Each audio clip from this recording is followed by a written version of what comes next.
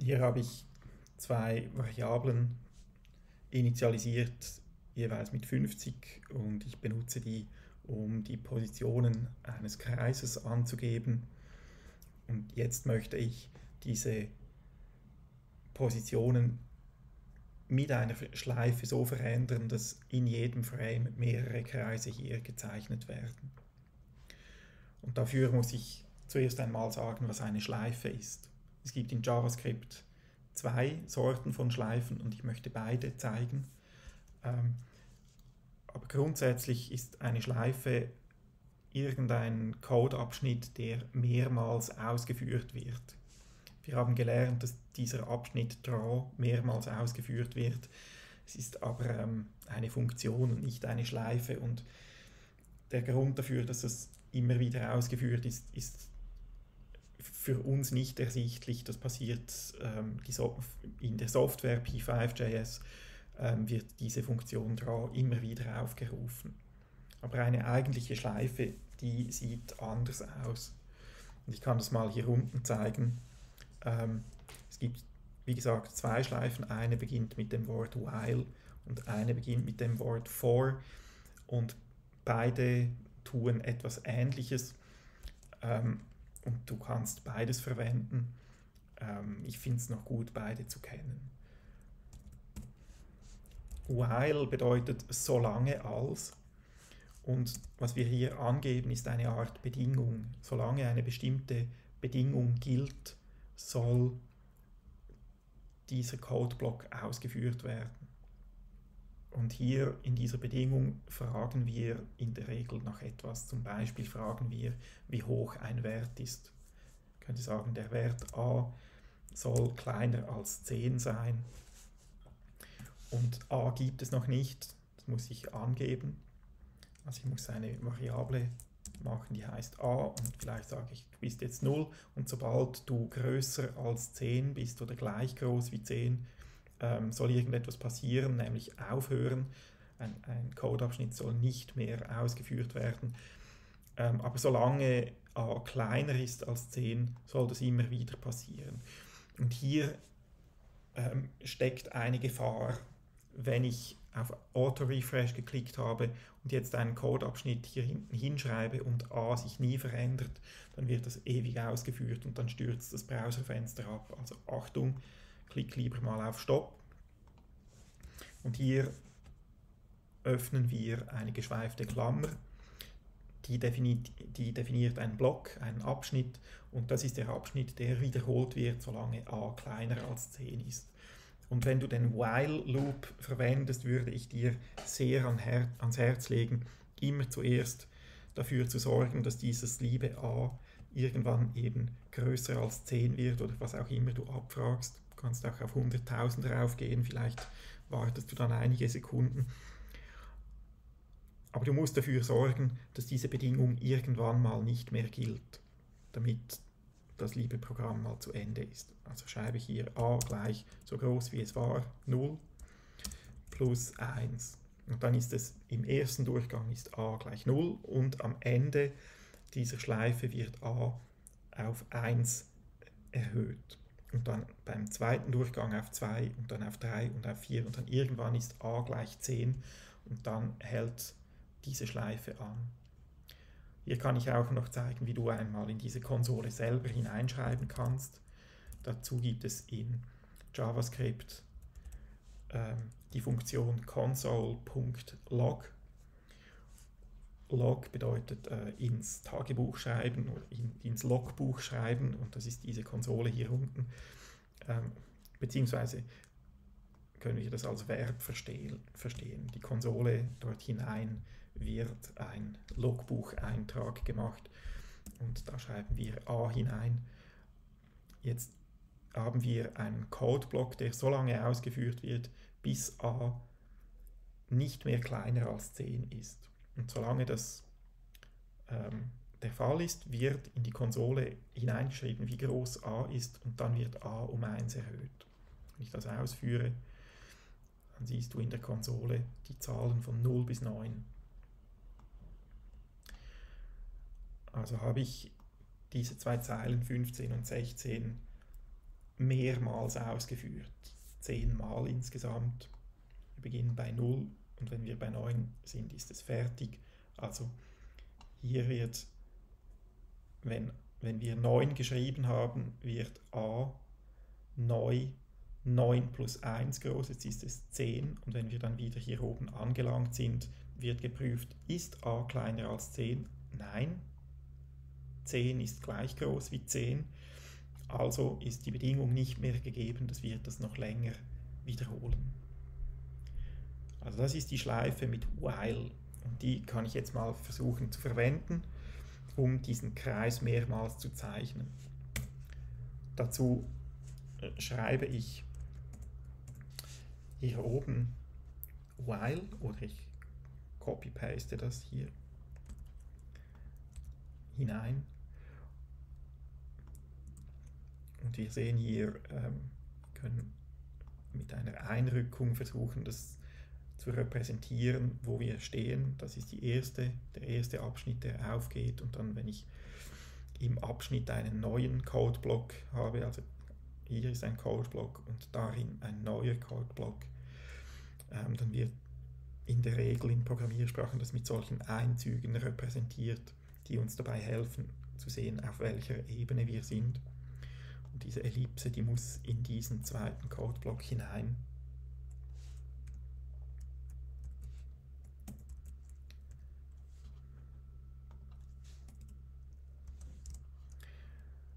So, und jetzt wird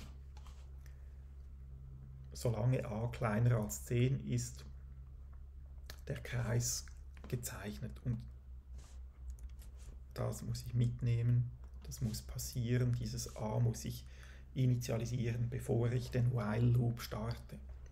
Weil a muss jedes Mal, wenn ein neues Frame gezeichnet wird, auf 0 gesetzt werden, dann werden 10 Kreise gezeichnet und dann wird das neue Frame gezeichnet und dann müssen neue 10 Kreise gezeichnet werden. Und damit das passieren kann, muss a wieder auf 0 gesetzt werden.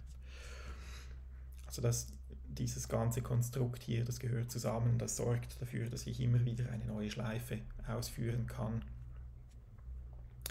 Ähm, auch wenn die Draw-Funktion neu ausgeführt wird, weil wir ein neues Frame zeichnen in unserem Daumenkino. Jetzt kann ich das Schreiben in die Konsole mal abschalten. Wenn ich das ausführe, sehe ich nichts, weil immer auf die gleiche Position XY gezeichnet wird.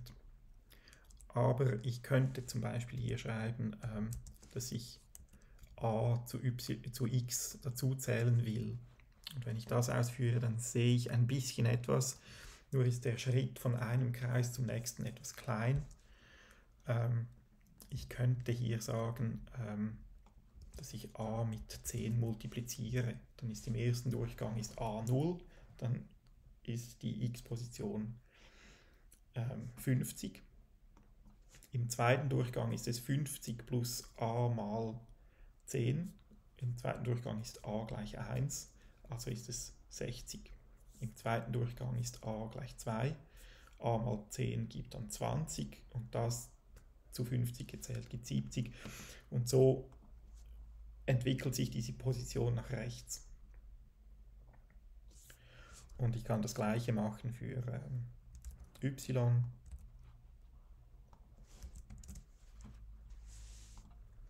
Und so wird dieser Kreis von oben links nach unten rechts geschoben. Und ich könnte auch diese,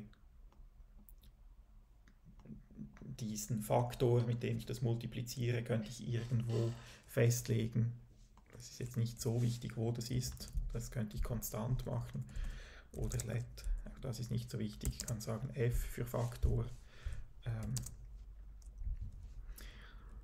und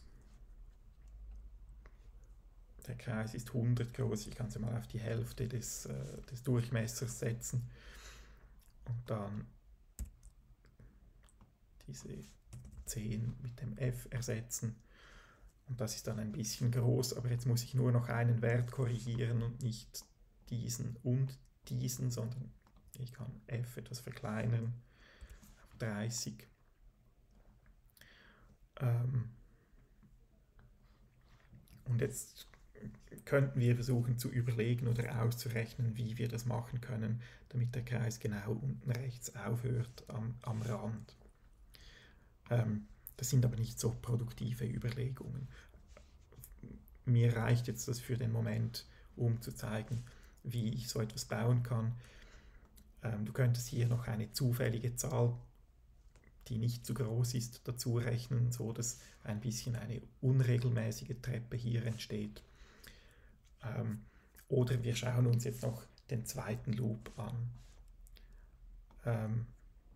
Das ist etwas unordentlich, ich würde dir empfehlen, diese Variable, die du abfragst fürs While, ähm, immer schön vor dem While ähm, zu definieren, so dass es alles beieinander ist.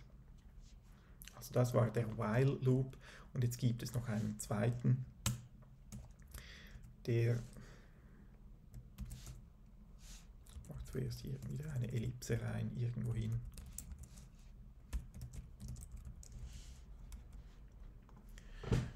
Der zweite Loop, den schreibst du mit for. Ähm, der Nachteil des For Loops ist, dass er etwas länger ist. Es ist ein, äh, so ein äh, Gespann aus drei Angaben, die du machen musst. Ähm, das ist etwas aufwendiger zu schreiben und etwas unübersichtlicher vielleicht am Anfang. Der Nachteil von while ist, dass du sehr schnell in die Situation kommst, dass du vergisst, eine Variable zu erhöhen und das while dann ewig ausgeführt wird. Das ist mit for ähm, weniger einfach herzustellen, dieser Fehler. Ähm, darum ist for vielleicht etwas sicherer. Wenn wir for schreiben, kommt zuerst eine Klammer und dann ein, ein Block in geschweiften Klammern und hier, ähm, das ist dann der Abschnitt, der mehrmals ausgeführt wird.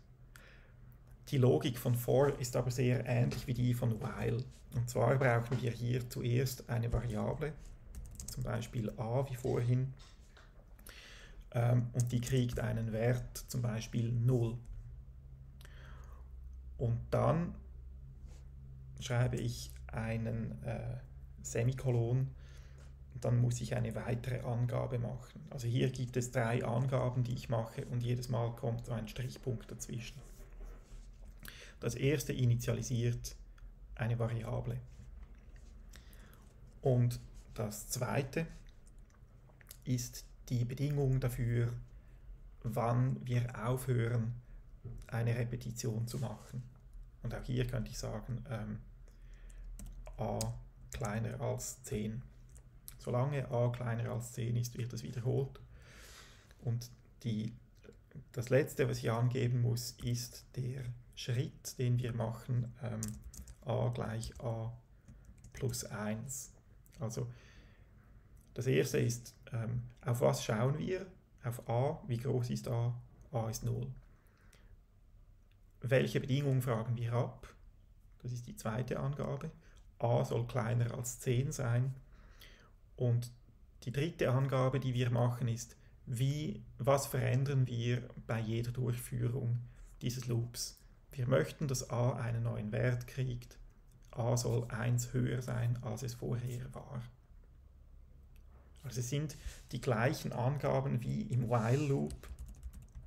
Auch hier kann ich a wieder in die Konsole schreiben. Ähm, du wirst sehen, dass wir den gleichen Output kriegen. Wir zählen wieder hoch von 0 auf 9. Also die Logik dieser zwei Loops, die Funktionsweise ist identisch. Beim While Loop war es so, dass wir geschrieben haben, ähm, let a gleich 0, while a kleiner als 10. Ähm, dann kommt der Abschnitt und innerhalb des Abschnittes müssen wir eine Wertzuweisung machen. a soll jedes Mal größer werden. Also diese zwei Konstrukte sind äquivalent, beide tun das Gleiche. Ähm, beide zählen eine bestimmte Zahl hoch. Beide können wir nutzen, um zum Beispiel mehrere Ellipsen zu zeichnen. Ich kann jetzt äh, diesen Abschnitt ebenfalls auskommentieren, entweder indem ich überall zwei Schrägstriche vorne hin mache oder am Anfang Schrägstrich äh, und Stern und am Ende Stern und Schrägstrich. So kann ich einen ganzen Block auskommentieren. Und das hier kann ich in die Draw-Schleife hinein kopieren und einrücken, sauberkeitshalber, und dann diese, diese Ellipse, die Ellipse-Funktion hier hineinschreiben. Auch hier schalte ich mal das Loggen in die Konsole aus. Und hier könnte ich mit A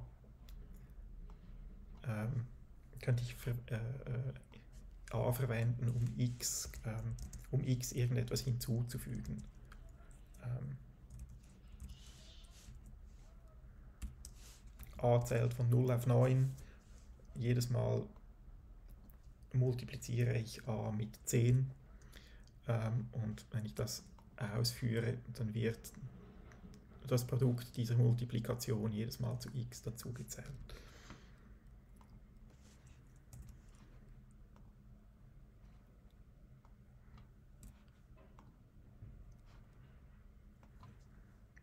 Geht mir fast nicht runter, dass dieser Kreis hier angeschnitten ist und jetzt nicht. Ich probiere es noch mit 35 und dann gebe ich auf.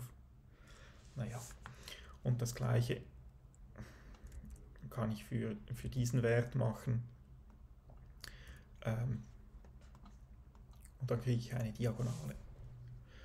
Jetzt äh, die hohe Kunst der Verwendung solcher Loops ist, dass diese Kreise hier schachbrettförmig angeordnet werden. Also dass es ähm, zuerst nur eine Zeile gibt ganz oben und dann das eine weitere Zeile hier unten geschrieben wird und noch eine und noch eine. Also dann brauchst du einen Loop, der die Zeile macht und dann brauchst du einen Loop, der die Zeile 1 runterschiebt. Das sind dann zwei verschachtelte Loops und das ist eine schöne Programmierübung, die ich dir gerne überlasse. Das ähm, ist nicht unbedingt nötig jetzt für diesen Workshop, dass wir das können. Aber diese zwei Loops, for und while, ähm, die solltest du dir mal anschauen. Ich habe vorhin erwähnt, hier in diesem JavaScript Info Manual für JavaScript, da gibt es ein Kapitel While und For. Das kannst du vielleicht einmal durchlesen, um das noch einmal zu repetieren.